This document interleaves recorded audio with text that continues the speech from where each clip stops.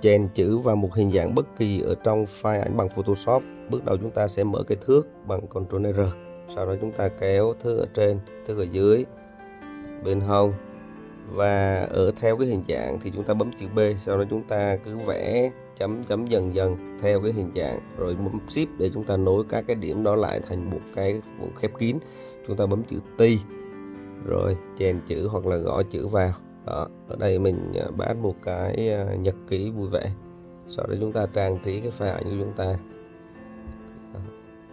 Rồi có thể chèn thêm những cái chữ ký hay là file có đuôi png file trong suốt á, để cho cái ảnh chúng ta nó đẹp hơn. Như vậy đây. lấy cái file chữ ký trên mạng xuống chèn cho anh em thấy. Đó anh em thấy là rất là dễ.